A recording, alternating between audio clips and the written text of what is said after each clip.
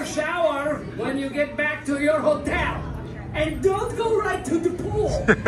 As for the rest of you, if anyone's thinking of backing out, I warn you, I will hit you with my fart gun. Oh yes, I'm packing Pistola de Peo. Whether will it be minions or farts? Minions or farm? Ignore them. Don't be girl. He's just a big, bald teddy bear. Yeah, and no way will he shoot you with a fart gun. Oh, no. Hey, it smells like banana.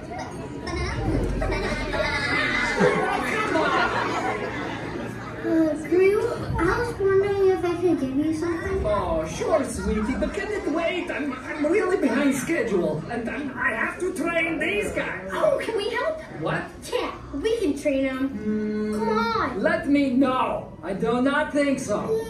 No, no, it's very technical. Come on. We've seen you do it hundreds of times. Yeah, it's not like it's rocket science or even fourth grade science. Yeah, a trained monkey could do it. All right. Okay, future minions, the girls are going to handle your training.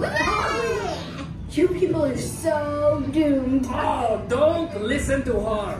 Although she's usually right. Good luck, everyone. But, but Gru, wait. He's gone, Agnes. It's the anniversary of the day he adopted us. Do you think he forgot? Of course not. It'll be okay, Agnes. Come on, we have a job to do. Let's do this! Okay, everybody, see you in the lab. This is gonna be good. Stay in your row and quickly move down to the last seat. Each pod seats four guests per row.